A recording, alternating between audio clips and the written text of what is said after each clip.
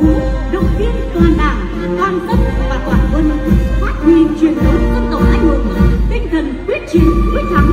Khát vọng phát triển đất nước, phồn vinh, hạnh phúc. Thực hiện thắng lợi công cuộc xây dựng và bảo vệ tổ quốc việt nam xã hội chủ nghĩa. Các khối khí trường và đội hình diễu binh diễu hành đang tiến vào lễ đài.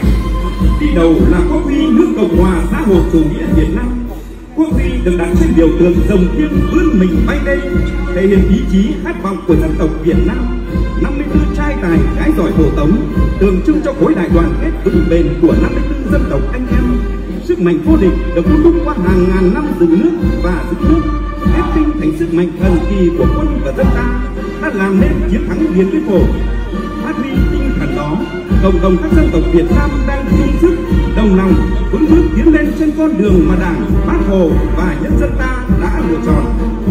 Nhiệt liệt chào mừng khối cờ đảng, cờ tổ quốc đang tiến vào lễ đài những lá cờ tung bay trước gió, tượng trưng cho lý tưởng.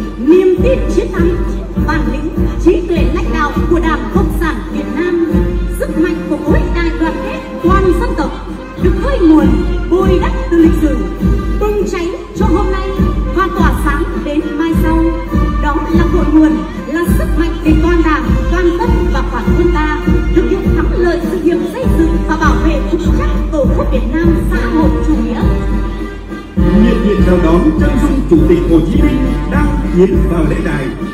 Chủ tịch hồ chí minh, vị lãnh tụ kiên tài, người sáng lập lãnh đạo và rèn luyện đảng ta, anh hùng giải phóng dân tộc, danh nhân văn hóa thế giới, người cha kính yêu của lực lượng vũ trang nhân dân, người đã mở đường chỉ lối và trực tiếp lãnh đạo cách mạng việt nam từ thắng lợi này đến thắng lợi khác. Trong đó có chiến thắng điện biên phủ, bác đã đi xa nhưng thân thế sự nghiệp, tư tưởng, đạo đức, phong cách của người mãi mãi tỏa sáng, soi đường cho dân tộc việt nam vững bước tiến lên những tầm cao mới, sánh vai với các cường quốc, năm